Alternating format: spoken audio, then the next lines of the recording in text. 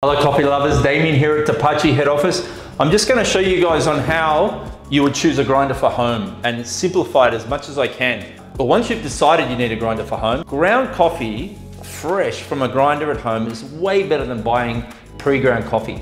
So once we decide we need a grinder and we want to take our coffee to the next level, you can get overwhelmed with the information and go down a bit of a rabbit hole. So what I've done is I've simplified the grinder selection for home into four easy categories. And I'm gonna explain why you would get this grinder over that grinder and the benefits and features of each one.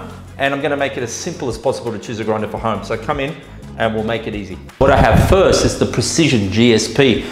So this is a manual grinder. So what that means is you are fundamentally guessing how much dose you're putting in your portafilter or dosing cup. The benefit of this unit is it's quite affordable, but the con is you're guessing how much coffee. So coffee is all about the dose. You and your partner are making coffee, you're grinding,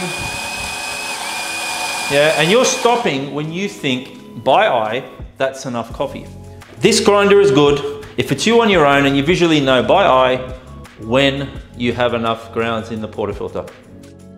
So what you can do to make this affordable grinder a premium grinder is get yourself a set of scales and a dosing cup and you can weigh out the grinds and make it a premium grinder with a couple of simple tools.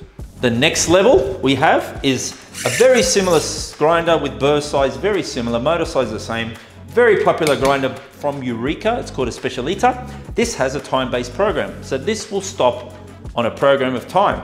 So this is gonna give you a lot more consistency. We select the time, it's gonna be about 90%, 95% accurate. The beans will find a way down, they'll push.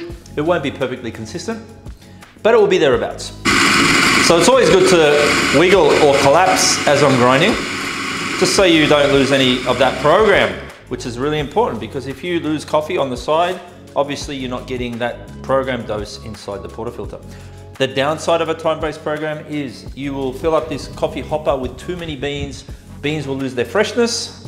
The step up from that is a single dose grinder. So single dose grinders are very popular now. They do, it's a couple of brands. Niche is probably, I think, the best. Then there's, you know, the Varia VS3, there's the Gen 2 Varia, there's the DF series. So we have the DF 64 generation 2 with this one here now, the next one. So what is or why would I buy this grinder? Well, this grinder now, I'm going to, instead of guessing how much coffee I'm getting out, I'm to weigh how much coffee is going in. I need a set of scales, comes with a dosing cup, and I would weigh my beans. So now, I would put those beans in and get 20 grams out. Little single dose, so that will go in. Here we go. Little bellow will push any grounds out, make it zero retention. All right. So 21 grams I put in, 21 grams out. Typically that would go like that. This is a good way of doing it. I would dose like that. I can distribute, you know, and you'll get a super accurate dose and really save on wastage in the long run. And the benefit of this grinder also is you can do different applications. So typically with these grinders, espresso only, the DF64 you can do filter and other applications and moka pots and things like that. The Libra from Eureka, this is a grind by weight. So it's not grind by time, grind by weight. We set the grammage for a double. I've got 19 grams here. Again, I'll fill the hopper with beans and we will go. So that will give us 19 grams worth of coffee based on the scales.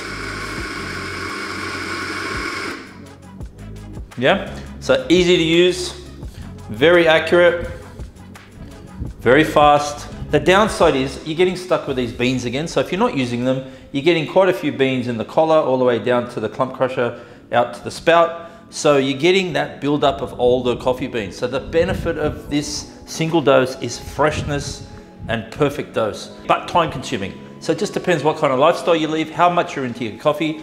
If you want something easy, one coffee a week, I'd recommend this one.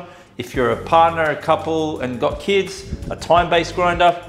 If you want to get into your coffee and experiment with different roasts and different applications, I'd go single dose. If you're the upmarket sort of person that can afford the grind by weight, that would be you. So something that's better than that, a little bit more accurate, that's my choice.